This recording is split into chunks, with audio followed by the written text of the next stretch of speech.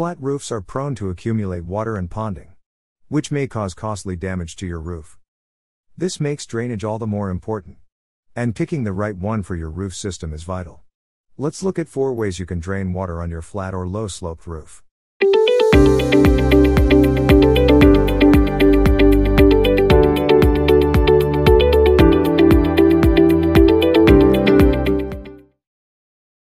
Whenever you hear the term gutter systems, most tend to think that they're only viable for houses.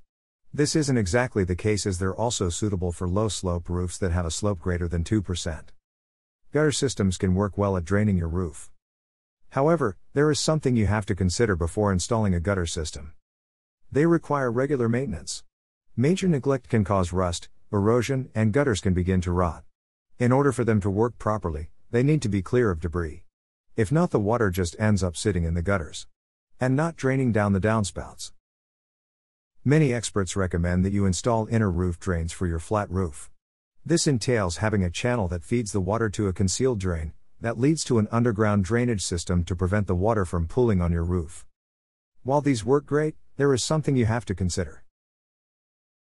Maintenance and repair are costly, as the pipes are under the roof.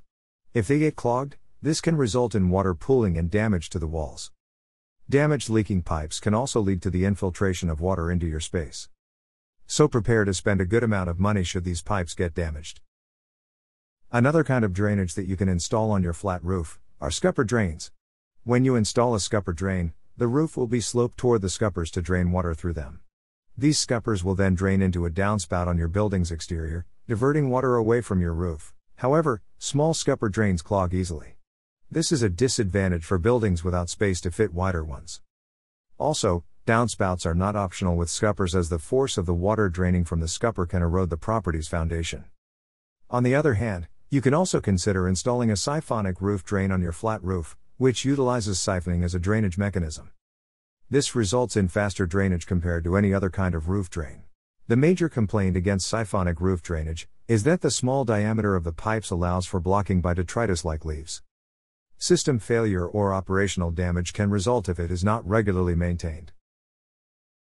In conclusion, any of these systems will effectively divert water from your flat roof, provided it is installed correctly and properly maintained.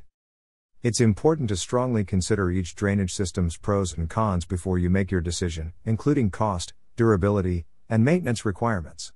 When in doubt, consider your building type and location to help you determine the best drainage system for your flat roof, and contact a professional. Thanks for watching. And don't forget to subscribe to this channel.